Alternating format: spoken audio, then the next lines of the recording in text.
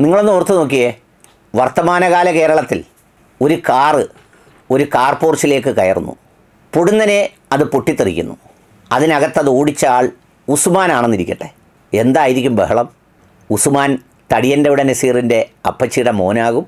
നിരോധിക്കപ്പെട്ട പോപ്പുലർ സംഘടനയുടെ ഒരു പ്രധാന അംഗത്തിന്റെ കൊച്ചാപ്പയുടെ മകളെ കെട്ടിയ ആളിന്റെ ഭാര്യയുടെ സഹോദരി ഭർത്താവിന്റെ ജ്യേഷ്ഠനോ അനിയനോ ആകും. വലിയ ചർച്ച നടക്കും. ഇതെങ്ങനെ പൊട്ടിത്തെറിച്ചു എന്നുള്ളത് അന്വേഷിക്കണമെന്ന് സാക്ഷാൽ നമ്മുടെ ശശികല ചേച്ചിയും കുമ്മനം ചേട്ടനുമൊക്കെ പ്രസംഗം നടത്തും പോസ്റ്റിടും വലിയ ബഹളം നടക്കും മാധ്യമങ്ങളൊക്കെ വെണ്ടയ്ക്കാൻ നിരത്തും.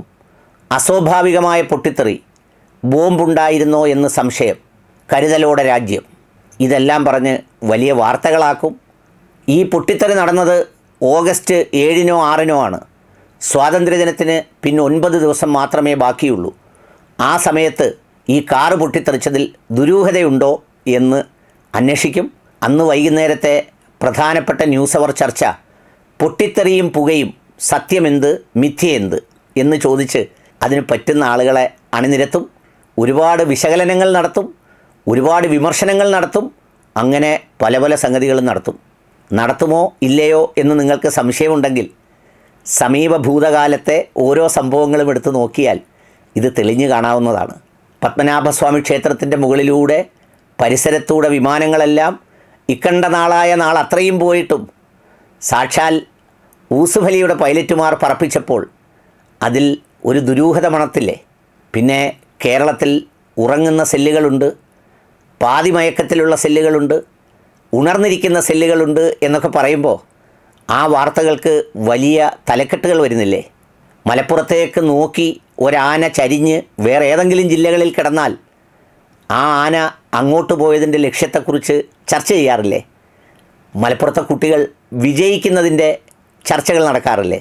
എന്നതടക്കം എന്തെല്ലാം ചർച്ചകൾ നടക്കുമ്പോഴാണ് ഒരു ചെറുപ്പക്കാരനായ മനുഷ്യൻ മുപ്പത്തഞ്ച് വയസ്സ് പ്രായമേ ഉള്ളൂ അദ്ദേഹം അദ്ദേഹത്തിന്റെ വീട്ടിലേക്ക് ഒരു വാഹനം ഓടിച്ച് കയറ്റി അത് പൊട്ടിത്തെറിച്ചിട്ട് ആ വാഹനത്തിന്റെ പേര് പോലും ഒന്നുറക്കമിണ്ടാൻ ശേഷിയില്ല.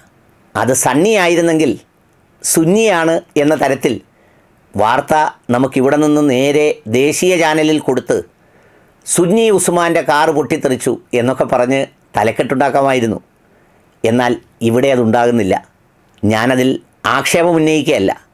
മരണപ്പെട്ടുപോയ സഹോദരനോട് ഒരനാദരവും എനിക്കില്ല. ആ സംഭവം ഉണ്ടായത് ദാരുണമാണ് മോശവുമാണ് ഞെട്ടിപ്പിക്കുന്നതുമാണ്. നമ്മളൊക്കെ വാഹനത്തിൽ നടക്കുന്നവരാണ് കാറിൽ സഞ്ചരിക്കുന്നവരാണ്. കിണറ്റുംകാട്ടിൽ കൃഷ്ണപ്രകാശ് എന്ന കണ്ണൻ മുപ്പത്തിയഞ്ച് വയസ്സാണ് അദ്ദേഹം തൽക്ഷണം ഇതിൽ പൊട്ടിത്തെറിച്ച് മരിക്കുന്നത്.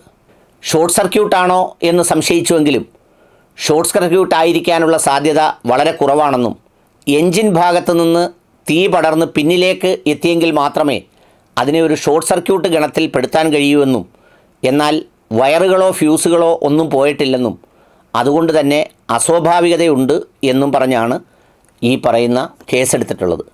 അപ്പോൾ എങ്ങനെയായിരിക്കാം പൊട്ടിത്തെറിച്ചതെന്ന് ഈ മലയാളി പ്രേക്ഷകരോടും കാർ ഓടിക്കുന്ന ഉപഭോക്താക്കളോടും ഒന്ന് പറയേണ്ടത് അത്യാവശ്യമല്ലേ?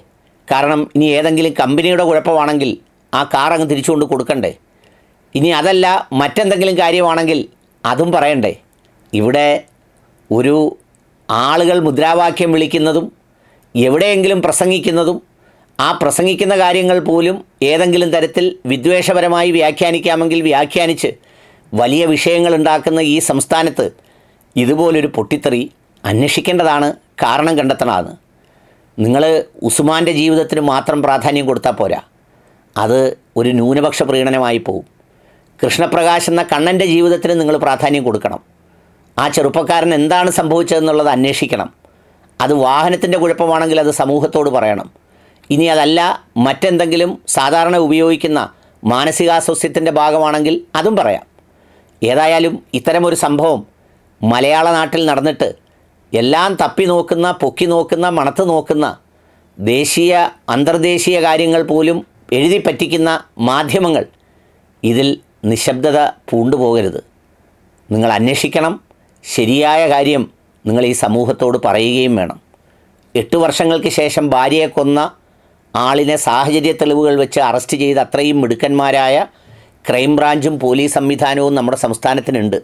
അതുകൊണ്ട് അത് ത്വരിതപ്പെടുത്തി നല്ല ഓഫീസർമാരെ ഉപയോഗിച്ച് കണ്ടുപിടിക്കേണ്ടത് വളരെ വളരെ അത്യാവശ്യമായ കാര്യമാണ്.